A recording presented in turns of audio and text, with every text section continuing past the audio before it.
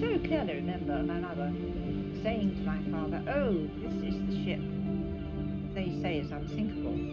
My father said, no, this is the ship that is unsinkable. My mother said, well, that is flying in the face of God, and that ship will never get there.